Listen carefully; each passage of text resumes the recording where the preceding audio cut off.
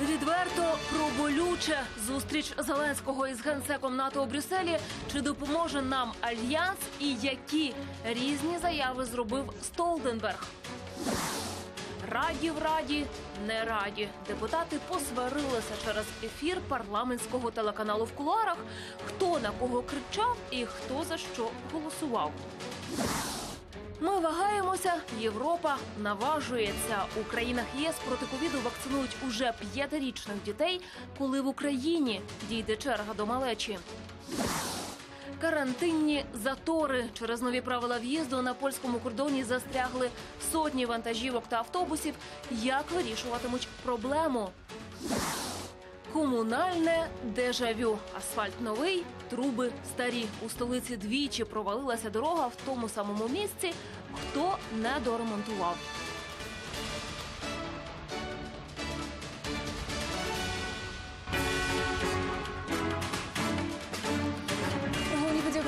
Дізнаєтесь в подробицях у студії Катерина Лисенко. Вітаю.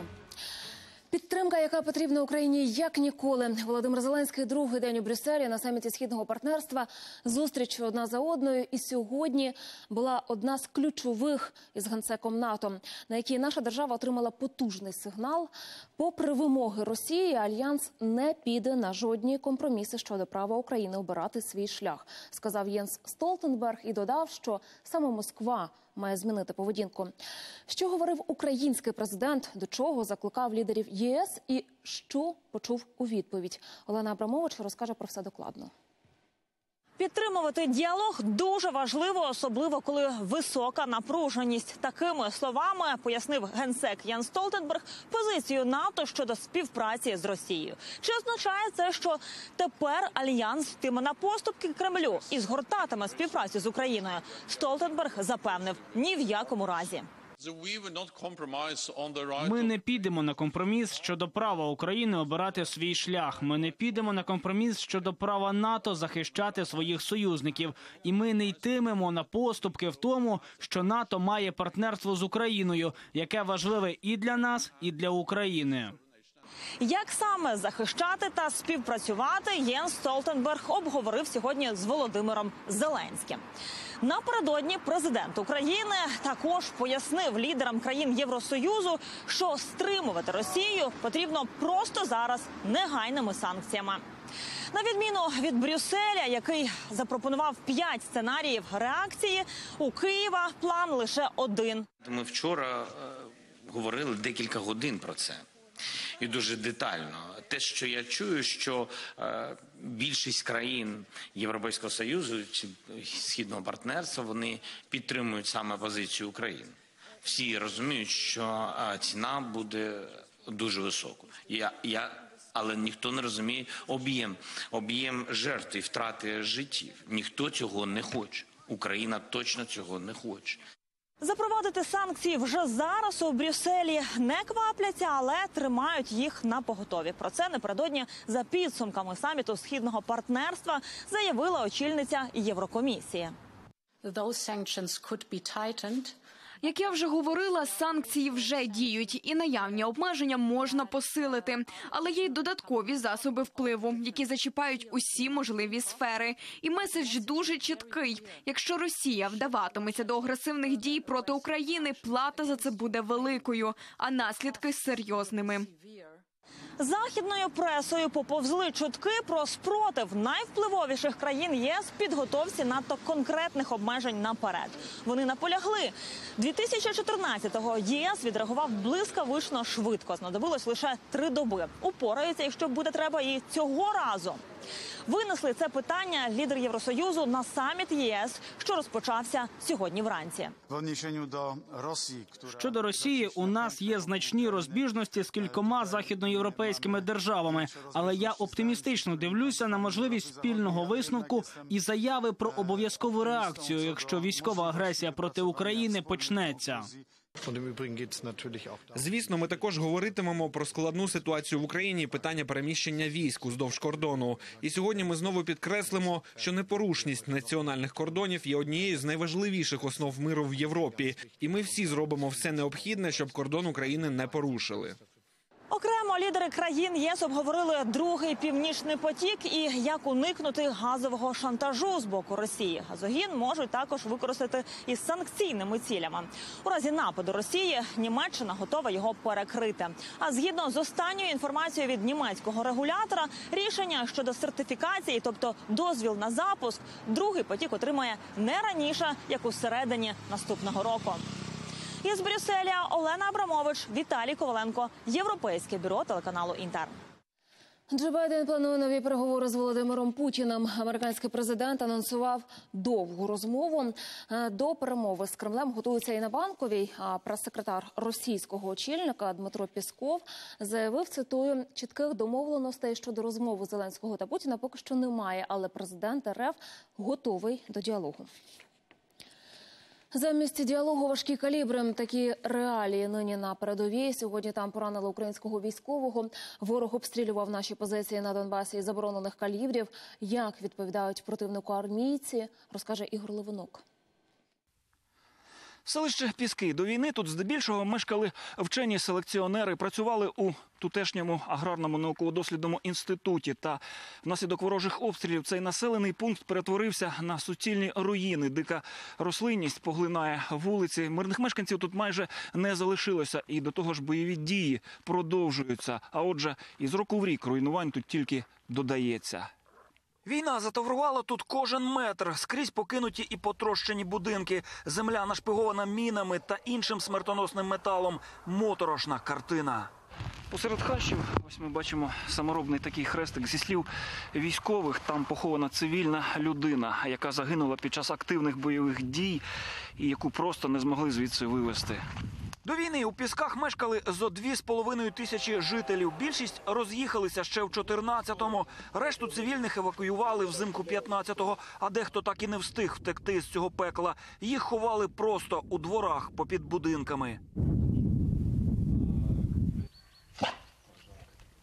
Вулицями спустошеного селища бігають бродячі пси, а на позиціях відносне затища. Місцевість скував густий туман. Наразі він і поставив бойові дії на паузу. Ну, поки що туман, тут мало чого. Помітно, треба тільки слухати. У хлопців в окопах скрізь нагадування. Тут працює снайпер і може вбити, кажуть бійці. Зайшла група і дійсно це так. Тобто, береженого Бог береже, кажуть, тому намагаємось не висовуватись, вести спостереження.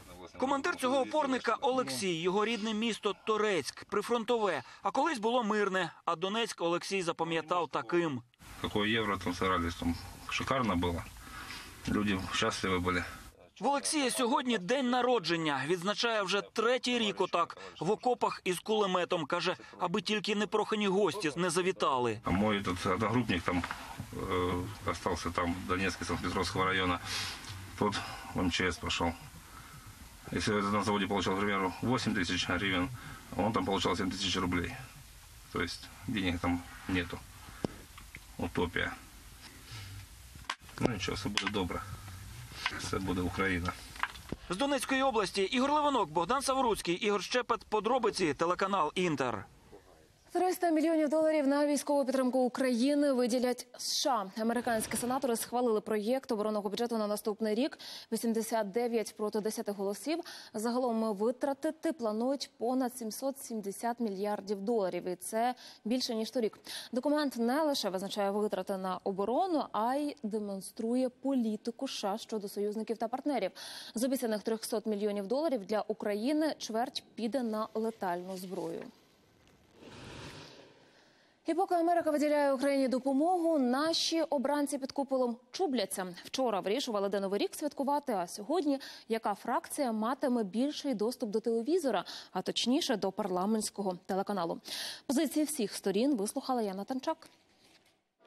Так у кулуарах працює оновлена студія телеканалу Рада. Перегороджений прохід, вимкнена трансляція засідання, і саме парламентський зміст став сьогодні яблуком розбрату для депутатів. За рахунок бюджетних коштів поплюжити опозицію, поплюжити лідерів опозиції, поплюжити наших міжнародних партнерів. Я впевнений в тому, що зараз коїться злочин. В опозиційних фракцій занепокоєння, що телеканал Рада може стати таким агітпропом для влади. для монобільшості, і безумовно, що це порушує баланс. Його основна задача висвітлювати роботу Верховної Ради України, не Кабміну, не якихось ще державних структур, а парламенту. Робота телеканалу так обурила народних обранців, що свої справи вони відклали майже на дві години. Відтак оголосили, домовилися домовлятися. Я точно не хочу втручатись в цей процес, але я хочу концептуально, щоб ми всі кажу, домовились, що не треба нам е, мати телеканал, який ніхто не дивиться. Тобто, що ми всі за умови там е, відповідного балансу і квотування всіх фракцій, щоб всі мали рівні можливості там виступати. За понад півсотню законопроєктів взялися вже по обіді. Заборонили куріння в громадських місцях електронних цигарок, продаж ароматизованих, а ще змінили правила трансплантації. До цього моменту необхідно було офіційно нотаріально завіряти документи, що ти згідна у випадку твоєї смерті, щоб можна було твої органи використати. Е, Зараз ця процедура дійсно спрощується, і сподівання законодавців є в тому, що е, через надання згоди в електронному вигляді можна буде е, збільшити кількість людей, які згідні у випадку їхньої смерті на те, аби використовувались їхні органи. Подбали сьогодні і про вітчизняну промисловість. Зобов'язали іноземні компанії, які виграють тендери, використовувати деталі, вироблені в Україні. Це стосується, зокрема, поїздів, комунальної техніки та літаків. Місто Київ вирішує купити 100 вагонів е, або 100 трамваїв в Польщі. Це реальна історія. І тоді за умови локалізації, якщо вона 30%, то 30 е, з цих трамваїв, 30 зі 100, має бути вироблено на території України, або 30% запчастин для всіх 100 трамваїв має бути вироблено на території України, або 30% робіт для всіх 100 трамваїв має- має бути виконано українцями. А ось як залучити масштабні інвестиції в українську промисловість? Ще кілька місяців тому Верховна Рада підтримала створення індустріальних парків. Тепер взялися регулювати їхню діяльність. І щоб стимулювати інвесторів, звільнили їх від мита на нове обладнання, яке возять в Україну, а ще від податку на прибуток. Це до підтримки промисловості не має жодного відношення. Що пропонується? Є індустріальні парки, окремі зони. Для них хочуть скасувати податки і митні збори. Хто це контролює? Чому один зав... е, один там завод або фабрика знаходиться умовно в тому ж самому місті, в тому ж самому населеному пункту? Платить податки, інші не платить. Ну це викривлення конкуренції. За роботою депутатів від ранку спостерігають шахтарі. Під стіни парламенту прийшли через борги із зарплати. Нас постійно заборгованість по три місяці, по півроку. Отак переведуть 20% і живемо тих 20%. Поки не приїдемо, не будемо стукати в двері, мітингувати, тоді щось виплатять. Та і взагалі ми хочемо, щоб на нас звернули увагу на кінець, щоб зрозуміли, що вугілля країні потрібно. Вже всі в світі зрозуміли, що без зараз, як знаєте, енергетична криза, що вугілля потрібно. Але достукатися до народних обранців цього разу не вдалося. Я вже закрив засідання. Дякую. Фракція заперечує. Є люди, які заперечують. В опозиції обурені. Это позорное явление, когда задолженность по зарплате шахтерам почти 2 миллиарда. В целом эту проблему не решить, потому что шахты работают плохо, государственной программы нет, поддержки нет. Позорное явление задолженности по зарплате шахтерам. Такого не было никогда, ну, при нашей власти, я имею в виду, когда мы работали. Цього року борги по зарплаті гірникам навряд чи виплатять. Закон у другому читанні нардепи розглядатимуть вже після свят. На пленарне засідання зберуться в останній тиждень січня. Яна Танчак, Анна Каменєва, Володимир Дєдов та Володимир Самченко. Подробиці телеканал Інтер. Тисячі до Миколая не буде. Гроші за вакцинацію почнуть падати на картки українців не 19-го, а 20-21 грудня. З багато бюрократичних проблем пояснив голова Мінцифри Михайло Федоров. Водночас деякі з банків партнерів програми вже почали виплачувати вакцинальну тисячу. Я нагадаю, щоб подати заявку, треба мати дві дози щеплення від ковіду і застосунок дія у смартфоні. У розділі послуги слід знайти є підтримку. Далі оформити картку для виплати в одному з банків партнерів та натиснути кнопку Отримати допомогу. Чи достатнім стимулом для щеплень є вакцинальна тисяча, стане відомо вже невдовзі. А наразі МОЗ вмовляє українців імунізуватися активніше, бо повністю вакцинованих на сьогодні лише 13 мільйонів. Що ж до ковідної статистики, то вона потроху зростає. За останню добу понад 9,5 нових тисяч хворих. При цьому МОЗ налаштовані оптимістично. Кажуть, кількість пацієнтів у лікарнях зменшується, а Київську, Житомирську, Сумську та Черкаську області планують вивести з червоної зони. Утім, нагадують про поширення у світі штату Омікрон, а отже, і про важливість імунізації. У листопаді 2021 року серед захворівших на коронавірусну інфекцію 84% не пройшли повний курс вакцинації. Серед госпіталізованих 91% невакцинованих. Це означає, що 9 із 10 госпіталізованих не вакциновані та не були захищені від тяжкого перебігу коронавірусної хвороби. Нагадаю, що вакцинація і надалі залишається дієвим способом захисту себе та оточуючих від COVID-19. Європа, до речі, вже думає про вакцинацію малечі. А ми тільки но дали доступ до щеплень підліткам. Український МОЗ дозволив робити уколи дітям від 12 років лише у жовтні, тоді як у низці європейських країн уже почали вакцинувати навіть тих, кому виповнилося 5. Яким препаратом щеплюють, як підбирають дозування і як діти переносять вакцину? Усе докладно розкаже Тетяна Логунова. Олівер та Сандра не вагалися щепити доньок чи ні. Щойно в Німеччині дозволили імунізацію дітей від 5 до 11 років. Вони одразу записалися до сімейного лікаря. Кілька хвилин і готово. Лілі і Луна отримали першу дозу вакцини. Ми з дружиною вакциновані нещодавно зробили і третю бустерну ін'єкцію. І ми не хочемо, щоб наші діти були носіями вірусу і заражали людей, які не можуть себе захистити. Лілі і Луна щеплення трохи боялися, утім уколу майже не відчули. Мені не було боляче. Мені теж майже не було. Дітей від 5 до 11 щеплять тільки препаратом Pfizer. Їм вводять третину дорослої дози. Для захисту від ковіду потрібні дві ін'єкції з інтервалом до 6 тижнів. Німецькі лікарі кажуть, охочих вакцинувати дітей дуже багато. До нас уже кілька місяців звертаються батьки і питають, коли нарешті. І ми дуже раді, що є дозвіл, вакцина, і ми можемо імунізувати маленьких пацієнтів. У першу чергу німецькі лікарі щеплять дітей з хронічними захворюваннями, так само як в Іспанії, Греції, Італії, Франції, Угорщині та інших країнах ЄС. Тим часом німецькі силовики попереджають про радикалізацію противників імунізації. Напередодні стало відомо, що низка депутатів Бундестагу отримали посилки зі шматками свіжого м'яса і погрозами. Мовляв, повстання проти обов'язкової вакцинації буде таким самим кривавим і неапетитним. Наразі поліція шукає відправника. А правоохоронці Дрездена провели обшуків активістів антивакцинального руху, які начебто планували замах на прем'єра землі Саксонія. Вони хотіли вбити Міхаеля Кречмера за активну боротьбу з пандемією і запровадження коронавірусних обмежень. Для підготовки нападу змовники створили групу в соцмережах, яку і викрила поліція. Тетяна Логунова, Геннадія Нікієнко, німецьке бюро телеканалу Інтер. Тільки но Європа відчинила двері для вакцинованих, як знову їх зачиняє навіть для тих, хто має щеплення. Країни одна за одною запроваджують нові правила в'їзду, і все через омікрон. Італія, наприклад, закрилася для всіх туристів з поза меж ЄС, зокрема і для українців. Які правила діють в інших державах, розкаже Марина Біленька. Вона також знає, де кордони наразі відкриті. На тлі ширення коронавірусу італійський уряд переглянув правила в'їзду для іноземців. Українських мандрівників відтепер не пускатимуть. Відповідно до оновлених правил перетину кордону з Італійською республікою у зв'язку із пандемією COVID-19 Україну з 16 грудня 2021 року віднесено до переліку країн списку Е, що передбачає заборону на необов'язкові поїздки громадян України, у тому числі з метою туризму.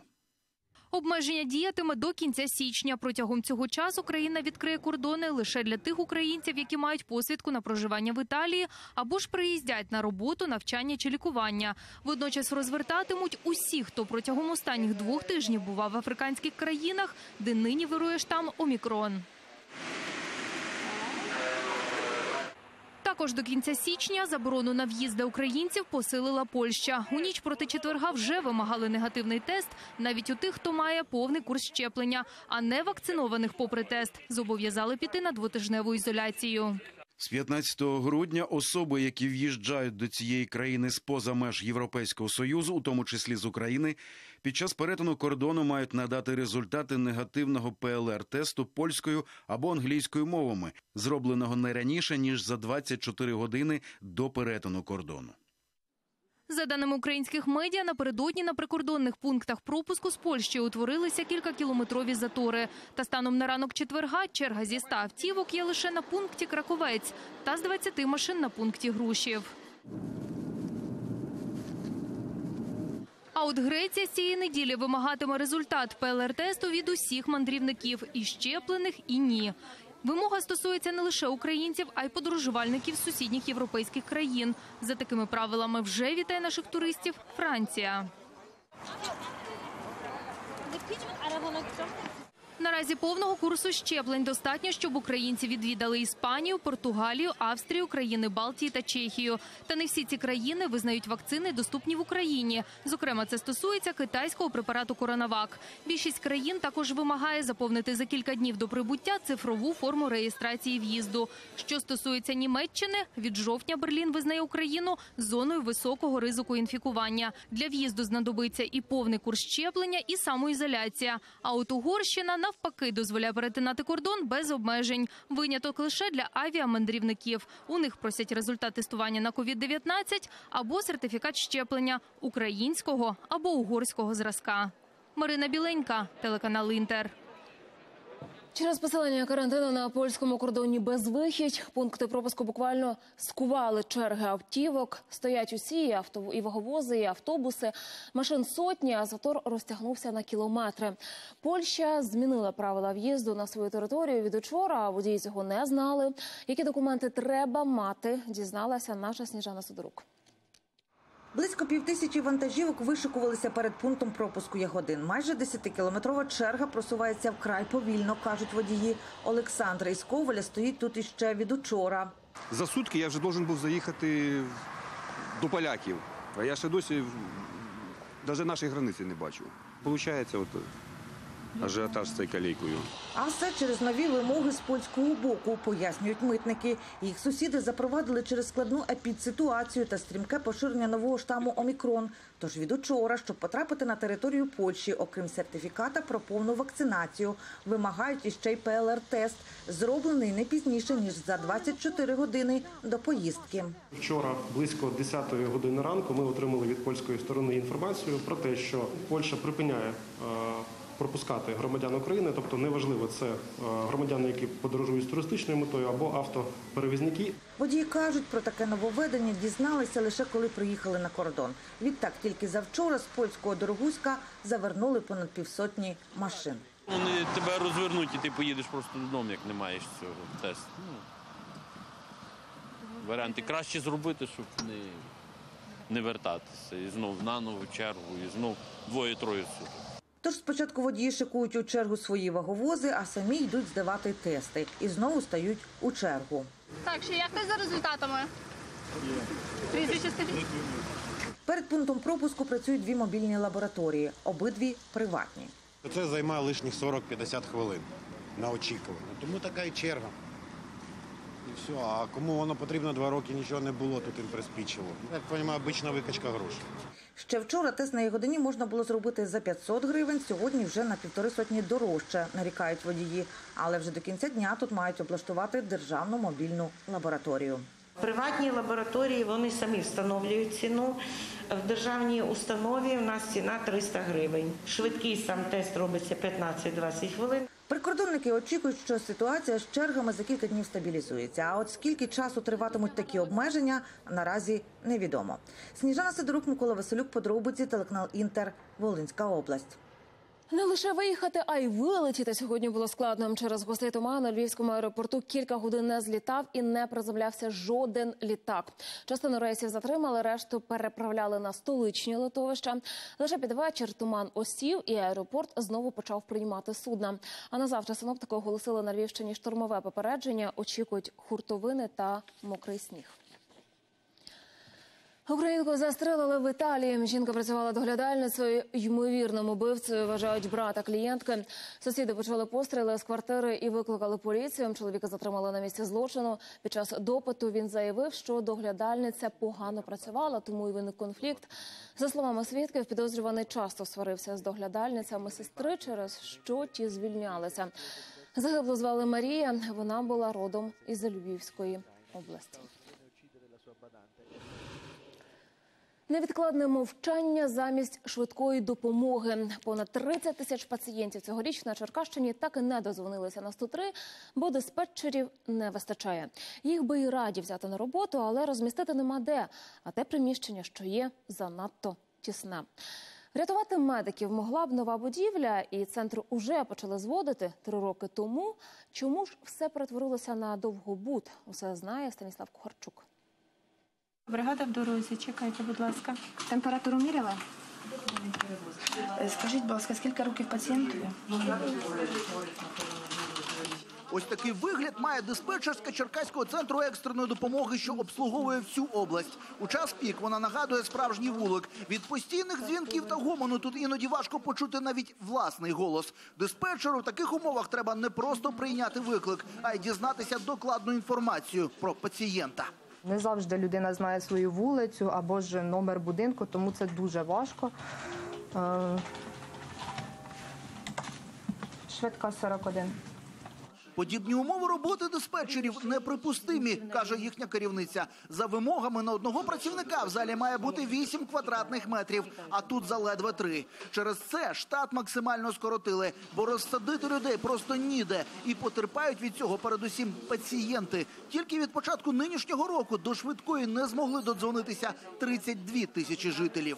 У нас на прийомі 6, диспетч... 6 диспетчерів, це критично мало. За кожним дзвінком відповідно стоїть чиєсь здоров'я, чиєсь життя, якась певна подія. Просто так на 103 на лінії ніхто не дзвонить. За планами та обіцянками обласних чиновників центр уже два роки мав працювати у власному просторому приміщенні, але на його місці й досі лише котлован. А сама екстрена служба розкидана по всім Черкасам. Аптечного пункту свого немає, складів немає. Ми орендуємо по всьому місту. Вироби медичного призначення в одному місці, медикаменти в іншому. Це громадна проблема. Спочатку на заваді будівництву стало кримінальне провадження за розкрадання бюджетних коштів. Коли його закрили, проєкт центру не відповідав видаткам, і його треба було актуалізувати. Голова обладміністрації запевняє, зараз роблять усе, щоб закінчити будівництво, хоча б наступного року. Стовідсоткову гарантію, ну напевно, на сьогодні складно взагалі на щось в принципі дати. Але ми цей проект сьогодні подали на е, програму по ДФР. Тобто ми вже зробили два кроки, як мінімум, актуалізували проект і подали його на фінансування. Далі збирається комісія. За актуалізованим проєктом приміщення центру коштуватиме понад 50 мільйонів гривень. Чи виділять ці кошти тепер залежить від урядовців. Тим часом котлован незакінченого будівництва почав поволі осипатись, і прірва потроху добирається до гаражів із каретами швидких. Станіслав Кухачук, Павло Тимошенко, подробиці телеканал Інтер, Черкаси. Коли гроші на асфальт є, а труби немає. Лише тиждень тому на столичному бульварі залатали яму, а сьогодні дорога знову пішла під землю. Та ще й у тому самому місці. І причина проста застарілі комунікації. І хоч би як комунальники рівняли дорожнє полотно, зношені водопроводи все руйнують вмить. Мої колеги продовжать. Це невідома на весь світ своїми гейзерами Ісландія, а центр Києва. Серед білого дня просто на очах у перехожих провалюється асфальт на бульварі Шевченка. І це навіть не стримує потік автівок, аж доки небайдужі не перекрили рух смітником. А далі все відбулося вже за звичним для столиці сценарієм. В ямі поволі з'являлася вода, і причина провалу буквально виплила на поверхню. Старіння труби.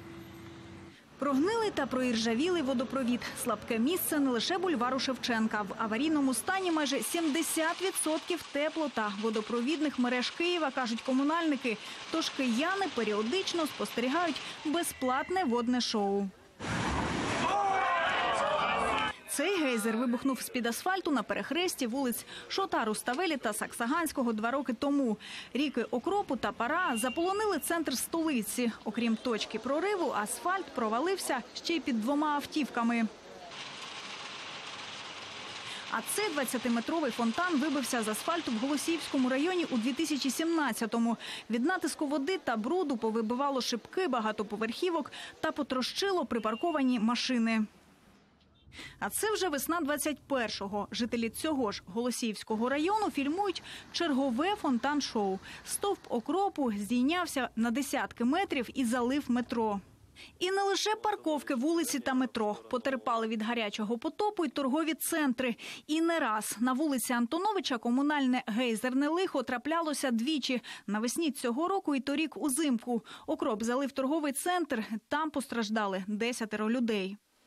Експерти кажуть, не змінять ситуації навіть капітальні ремонти. Потрібні кардинальні зміни: цілковита заміна теплової та водопровідної систем.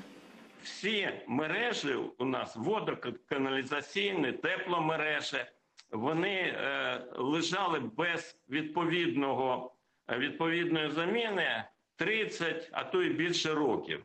На жаль, е, Київтеплоенерго, наприклад, воно більше зорієнтовано на ремонти. Е, і е, лише от останні три роки там е, вони зайнялися перекладкою мереж, не ремонтом, а саме перекладкою. А поки що спрогнозувати, де вибухне наступний гейзер чи провалиться асфальт, неможливо, застерігають столичні комунальники. Каналізаційних мереж в Києві 2700 кілометрів. І це відстань від Києва до Мадріда. Дуже багато мереж. Це ж проблема, вона не за один рік не купиться. Неможливо так на щелчок пальців замінити все. Стараємося, намагаємося, ну ніхто не обезпечений від виникнення аварійних ситуацій. Через аварію водогону на бульварі Шевченка ніхто не постраждав. Лише прилеглі будинки та офіси залишилися без води. Усе налагодити комунальники пообіцяли за кілька днів. Ірина Розова, Василь Богайчик, Олег Неведомський. Подробиці телеканал Інтер. Понад 40 тисяч дітей, які живуть уздовж лінії розмежування на Донбасі, отримають подарунки до Дня Святого Миколая, Нового року та Різдва. Організувала збір подарунків Національна платформа Жінки за миром. Там кажуть, на заклик відгукнулися з усіх регіонів. Тепер жінки планують подолати сотні кілометрів, аби доставити подарунки адресатам. Главные вопросы, главное как бы желание, которое сегодня загадывают здесь, во всех этих школах, во всех садиках, во всех коллективах. Нам сегодня как никогда надо сшивать страну. Нам как никогда нужно искать все то, что нас объединяет. Ведь этого намного больше. А у нас, у мам, у женщин, одна сегодня миссия, одна главная задача, чтобы дети жили под мирным небом. Столичні медики цього місяця отримують додаткову премію. Лікарям заплатять по 10 тисяч гривень, молодшому персоналу по 6. Рішення міська влада ухвалила через складну ситуацію з коронавірусом. На доплати з бюджету Києва витратять понад мільярд гривень. Нужно отдать должное и городской власти, и депутатскому корпусу, которые сработали как один коллектив, как одно целое. И результатом это стало того, что из городского бюджета дополнительно на здравоохранение было выделено около полтора миллиарда гривен для того, чтобы улучшить основные фонды наших медицинских учреждений и более 1 миллиарда 200 миллионов гривен для того, чтобы поддержать наших врачей материально, то есть увеличить им денежное вознаграждение. Переохолодження, обмороження та навіть виснаження від голоду це те, що кожного року доводиться переживати тим, хто не має даху над головою. Куди йдуть люди в пошуках тепла та як місцева влада намагається запропонувати бодай тимчасовий прихисток. Наша Марина Михайловська поспілкувалася із тими, кого доля викинула на вулиця, і з тими, хто прагне допомогти. Її матеріал із Миколаєва. Ще два тижні тому Василь Опанасович не знав, куди подітися. Чоловік опинився на вулиці через власну необачність. Я жил в своей квартире, потом племяннику переписал. Раньше времени сделал глупость такую. Взял, переписал. Вот, а он потом начал меня выживать. Родичів нема, грошей на нове житло тим більше. 93-річний дідусь вирушив у пошуках даху над головою. Здесь у нас пункт обогрева, зимний период. Здесь изолятор для мужчин и вот изолятор для женщин. У цьому центрі реабілітації допомагають безпритульним та людям з інвалідністю. Тут можна погрітися, отримати одяг, пообідати та переночувати. А після медичних обстежень і оселитися в житловому корпусі. Нам привозят и скорые, то есть э, люди обращаются где-то в городе, да, звонят скорую, там, либо полиция, и полиция привозит, там, нашли где-то на улице замерзших. Люди, які вийшли з місць позбавлення волі, теж вони відсиділи, е, їх е, звільнили, а йти нема куди. В центрі кажуть, підопічних більше, коли на вулиці стає холодніше в жовтні-грудні. А останні два роки цьому сприяв ще і локдаун. Ринки та крамнички, де зазвичай працюють безхатьки, закрилися. Тож люди опинилися без засобів до існування. Мы хотим э, помочь городу, чтобы трудоспособное население, которое попало в сложные ситуации, которое работает там э, на рынках, и они зарабатывают каждый день какие-то деньги для проживания, э, не потеряли свою трудоспособность. Наразі в Миколаєві працює два стаціонарні заклади для допомоги безхатькам. У зимовий період по районах відкривають і низку пунктів обігріву та харчування. Щороку допомагають майже 300 нужденним. В Херсоні, наприклад, немає в Херсонській області центру інтеграції безхатченків. І у нас е, багато приїжджають із інших областей і районів, і ця цифра постійно коливається, тому що літом вони роз'їжджаються по роботам, по е, полям і так далі. А зимою вони збираються в місті. До пунктів обігріву приймають усі, хто потребує притулку. Та люди ці зазвичай не мають необхідних щеплень, і вакцинувати їх теж неможливо, бо для цього у пацієнта повинні бути документи. Мы не знаем, какие они. В маске мы должны быть обязательно и в перчатках. Без этого мы не спускаемся к ним. Цього року в Миколаєві для допомоги безхатькам планують залучити і волонтерів. Додатково облаштують намет з обігрівом і харчуванням на 150 місць. Марина Михайловська, Олексій Уманський. Подробиці телеканал Інтер Миколаїв. Захлинулася слиною у вісні на Черкащині скандал через смерть п'ятимісячної дитини в місті Кам'янка. Мати в цей час була вдома, але тіло побачила лише зранку. Бабуся немовляти і сусіди стверджують, що жінка пиячила. Поліція відкрила провадження за статтею умисне вбивство, але згодом змінила кваліфікацію на нещасний випадок. Тож кримінальна відповідальність матері не загрожує. Окрім загиблого немовляти, у неї ще троє дітей. Найстаршу доньку кілька років тому соцслужби з родини забрали. Інші діти залишали залишаються з мамою, адже претензій до її поведінки інспектори поки що не мають. Як обращалась, кажу, перевірте, де вона отримує гроші, де вона що, де, до, до чого. Ніхто на мене не реагує. Всі думають, що як баба стара, больна. Жодного разу ми не заставали маму в нетверезому стані. У будинку було тепло, запас продуктів завжди був. Мама завжди йшла на контакт. Не було такого, щоб мама порушувала якісь наші рекомендації. Вистачить чи не вистачить? Уже з наступного тижня в Україну прийде похолодання, причому істотне. Тож уже традиційне питання зими: а чи вистачить газу? В НАКу переконують, що палива в нас достатньо до кінця опалювального періоду. А от експерти попереджають про можливий дефіцит газу та ще й на тлі морозів. Тож яка ситуація у сховищах і скільки палива ми споживаємо щодоби? Подробиці в матеріалі.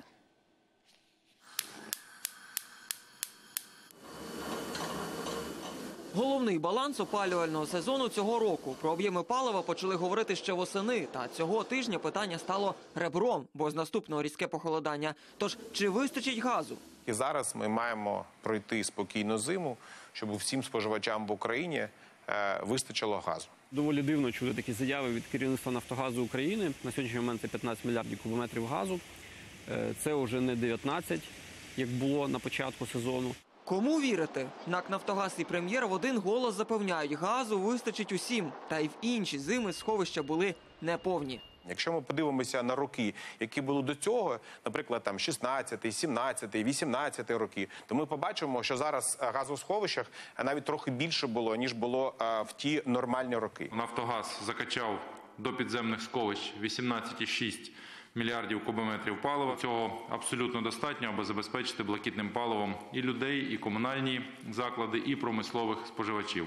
А скільки вони всі споживають? За даними Укртрансгазу, з початку опалювального сезону українці спалили 4 мільярди кубів, а за добу це виходить 110 мільйонів. Приблизно. Такий обсяг ми можемо витримувати за умови комфортної температури, от яка приблизно є зараз, тобто 0 градусів. Е, Але попереду морози. І вони б'ють по слабкому, бо похолодання автоматично означає збільшення споживання. Приміром, якщо буде нижче 8 градусів, споживатимемо вже 160 мільйонів кубів і більше. А стільки наші сховища просто не можуть видати. Їх потужність станом на зараз максимум 100 мільйонів, плюс ще 55 мільйонів кубів щоденно Україна видобуває. Загалом 155. Не слід забувати, що на сьогоднішній день 10 мільйонів реекспортом вивозиться з України зі зменшенням запасів газу в підземних сховищах, е, зменшується е, тиск на виході з газосховищ. Чому? Тому що е, вже на даний момент, на сьогодні, 15 мільярдів кубометрів газу дозволяють е, підняти із е, підземних сховищ е, 100 мільйонів кубометрів газу. Плюс е, той видобуток, який у нас власний є, поточний. Кожного місяця об'ємів газу ставатиме тільки менше, а значить пропускна потужність сховища теж буде слабшати. І як результат Нам просто щодобово не буде вистачати газу, не буде складатися подобовий баланс. Чи можливі відключення? Про це поки не йдеться, бо температура залишає простір для маневру. А що робитимемо, коли сильно підморозить? Тут цілком відповідальність е, оператора газотранспортної системи, який е, має, має забезпечити розрахунки е, попиту та пропозиції на природний газ. Є формальна якась програма, яка затверджена Національною комісією минулого року. Вона носить абсолютно формальний характер. Я переконаний, що цей план не відображає ситуацію. Вихід збільшення імпорту. Якщо в нас видо- видобуток стабільний, е, підземні сховища е, демонструють падіння е, протягом опалювального сезону, відповідно, на період холодів треба буде імпортувати газ. Але там ціна сьогодні 1200 доларів, 1300 доларів за тисячу кубометрів. Я так розумію, що у Нафтогазу і в державі в цілому таких коштів немає. Хоча раніше були, так запевняє екс-очільник Нафтогазу Андрій Коболєв. За його словами, у квітні на рахунках НАКу було 2 мільярди доларів. За них можна було купити 7 мільярдів кубів газу, але компанія цього не зробила. Віктор Волков, Олексій Гребінка, подробиці, телеканал Інтер. Розсекречені матеріали справи щодо вбивства Джона Кеннеді управління архівів США опублікувало майже півтори тисячі сторінок закритих раніше документів ЦРУ, ФБР, Держдепу та Пентагону. Джона Кеннеді застрелили в Далласі 22 листопада 63-го року. Досі є думка, що вбивство скоїв колишній морпіг Лі Гарві Освальд. Але суду над ним не було, бо й сам Освальд загинув через два дні після арешту. Нові матеріали зацікавлять тих, хто вважає, що вбивство Кеннеді було спецоперацією радянських чи американських служб, до яких Освальд не мав жодного стосунку. Кримсько-татарський орнамент Орник внесли до списку всесвітньої нематеріальної культурної спадщини ЮНЕСКО.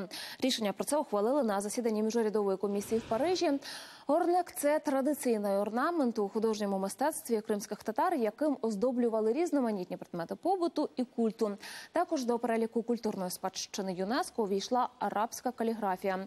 Прохання надати їй цей статус просили 16 мусульманських країн на чолі із Саудівською Аравією. У столиці представили сценічні костюми зірок голівудського кіно середини ХХ століття. Чиї сукні можна побачити, розкаже Тетяна Радченко. Вона була на експозиції. Це сукня Аніти Екберг, родзинка цієї експозиції. Її демонстрували в багатьох країнах світу, а сьогодні показали і в українській столиці. У цьому вбранні акторка з'явилася у фільмі Солодке життя Федеріко Феліні. Це знаменита сцена, коли героїня купається в римському фонтані Треві. А декілька тижнів тому цю ж сукню одягала Моніка Белучі під час зйомок нової кінокартини. В унікальній колекції також представлені три плаття Одрі Хепберн. Це вбрання неможливо не впізнати. Это платье, которое использовалось для съемки фильма «Война и мир». А, Главная роль Одри Хёберн. А це знаменита шовкова сукня, розшита кришталем і перлами, в якому Інгрід Бергман знімалася у стрічці Квітка кактуса. Поряд шовкове плаття та плащ із вишивкою, які належали Елізабет Тейлор. Актриса з'явилася у цьому вбранні на Венеційському кінофестивалі в 1961 році. Усі манекени на виставці розміру С, але деякі сукні і їм були замалі. Вочевидь, зірки кіно 50-х-60-х були ледь не дюймовочками. Загалом в експозиції 30 суконь. Эта выставка впервые на постсоветском пространстве. Раньше она была в мировых столицах, сегодня она в Киеве. Большой подарок для киевлян от итальянского посольства и э, Института культуры Италии. Мы очень надеемся, что это первая и начальная выставка, и мы привезем еще много интересного. Побачити на власні очі вбрання зірок Голівуду можна цілком безплатно до нового року. Тетяна Радченко, Юрій Романюк. Подробиці телеканал Інтер. Такі новини у нас на сьогодні. Більше як завжди на нашому сайті. Подробності є в прямому ефірі. Побачимося завтра. Я бажаю вам гарного вечора та до зустрічі.